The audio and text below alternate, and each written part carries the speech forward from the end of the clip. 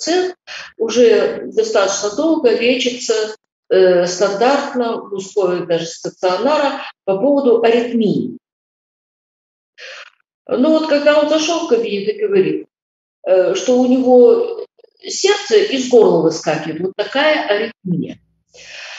Значит, когда мы посмотрели этот вопрос, вот на слайде четко видно, что да, есть аритмия, есть пароксизмальная тахикардия, но чем это вызвано? Это вызвано русским языком написано ревмокардит, воспалительный процесс сердца. А ревмокардит э, вызван токсоплазмой, стафилококками, стрептококками и так далее. И вот есть э, в графиках срединная линия. Она показывает, где первый источник этой инфекции.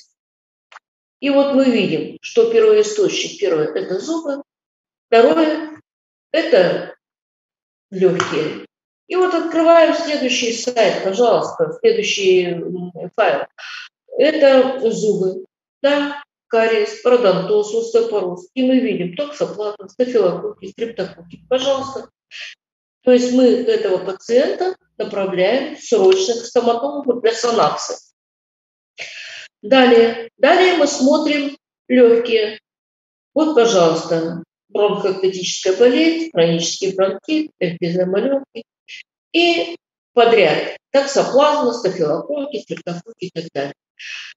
Вот эта технология, здесь чуть ниже будет файл, она дает нам возможность очень точно подобрать лечение.